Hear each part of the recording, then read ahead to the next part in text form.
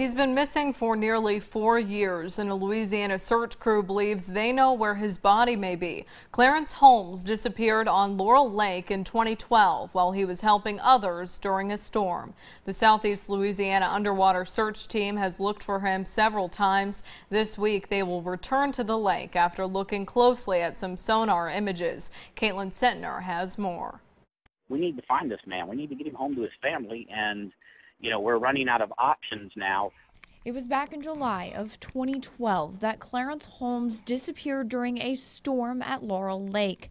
The 32 year old was boating in the Marshes Branch area when family says he was trying to help others tie up their boats and disappeared. But like any investigation, you just basically you follow where the path leads and you either rule something in or you rule it out and you go where it goes. The Southeast Louisiana Underwater Search and Recovery did multiple dives back in 2014. According to Mark Michaud, cadaver dogs alerted human remains.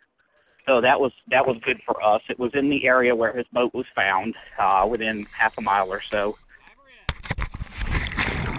So we started diving and just doing a systematic grid of the whole area up to about 130 feet deep.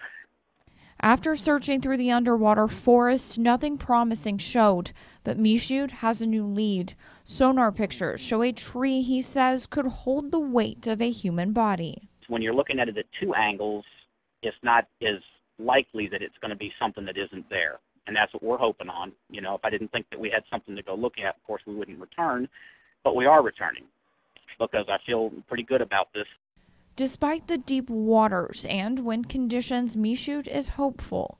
Holmes' father, Arnold, will be his captain this week during the search. If, if we find that this isn't anything and we have nowhere else to go, they're still going to keep searching. They're going to keep trying to do what they can and, and, until they can find Clarence because, you know, it's just that important. It's their child, you know, it's, it's their son, grown up or not. The team plans to start the, start the search on Tuesday.